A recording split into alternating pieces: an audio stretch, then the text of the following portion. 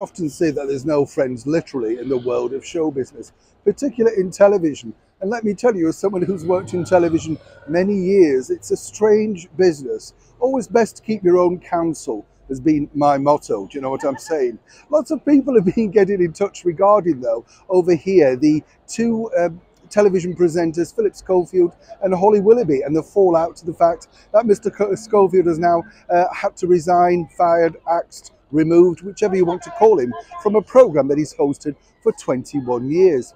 Fascinating stuff, as I'm sure you'll imagine. According to sources, it was up to Miss Willoughby. She decided she no longer wished to co-present the programme with him.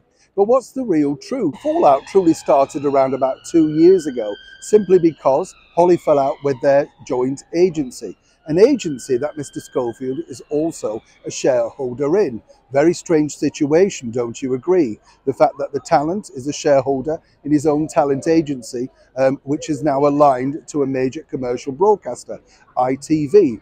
That was the initial fallout. And then, of course, subsequent problems meant even more distance was developed between the once close friends.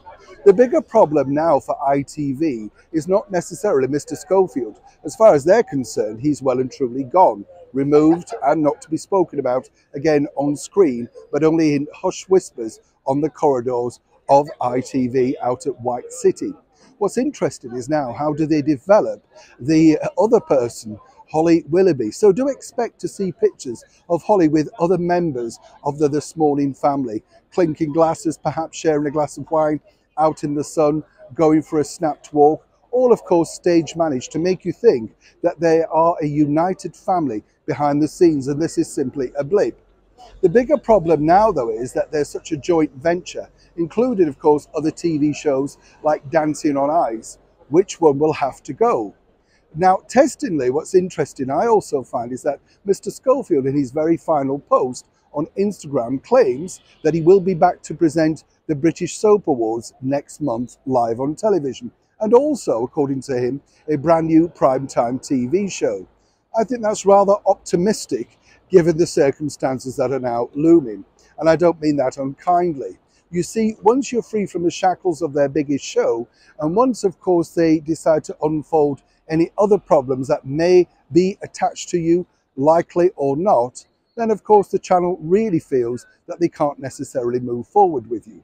Now, I'm not actually relishing in the fact that Mr. Schofield is going through such a difficult time. He has a bit of a difficult reputation, to say the least. But the bottom line, this is truly the world of television. They love you when you're pulling in the ratings and loathe you when you're not. He now basically is at the receiving end of the more negative. As for Miss Willoughby, Holly Willoughby, uh, a girl who started out on children's television and rose to the very top, earning over £3 million a year. Well, now it's testing times even more so for her as to whether the public will now believe this alleged friendship with whoever they decide to pair her with next. Testing times at this morning, but as ever, if you live in the United Kingdom, Scotland, Wales, or Ireland, will you be tuning in? Neil Sean in the very heart of London.